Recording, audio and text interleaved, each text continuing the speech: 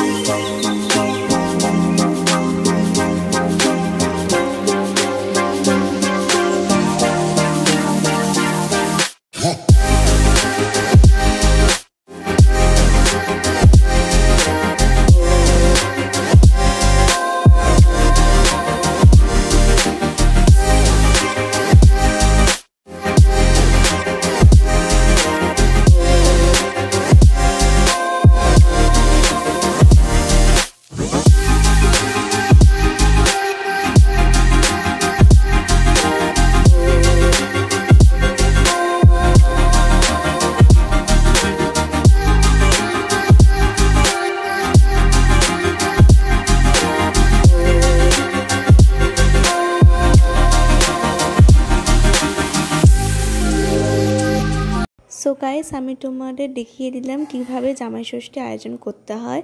তো এইভাবে বেসিক্যালি জামাই ষষ্ঠী আয়োজন করতে হয়। আর এরপর ঠাকুরমশাই এসে পুজো করেছেন। তো পুজোটা হয়ে গেছে কমপ্লিটলি তো ওই পুজোর ব্লগটা আমি তোমাদের কালকে শেয়ার করব। এখন এডিট করা হয়নি। তো ততক্ষণ এই ব্লগটা দেখো। ভালো লাগলে লাইক কমেন্ট শেয়ার সাবস্ক্রাইব করে দিও। দেখা হবে নেক্সট ব্লগে